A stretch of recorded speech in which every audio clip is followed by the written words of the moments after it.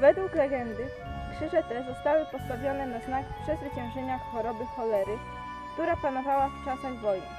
Jeden z krzyży należy do naszej wsi, Wólki Przekory, drugi zaś do Ludobroku. Jeszcze w tym roku ma dojść do ich renowacji.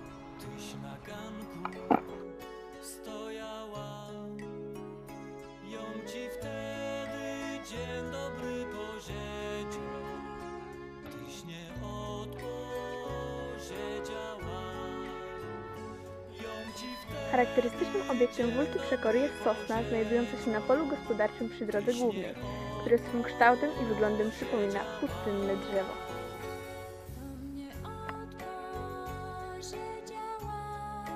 Kapliczka, przy której się znajdujemy, stanowi granicę między Ludobrokiem a Wólką Przekory.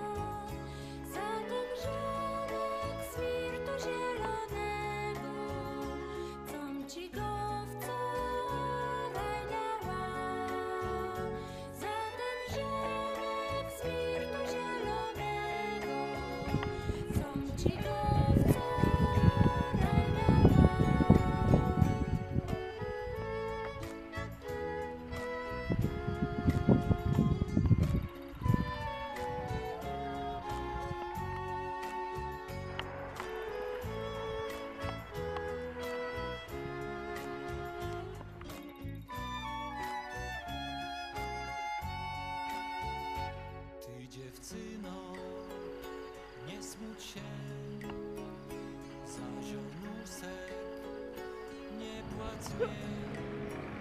nie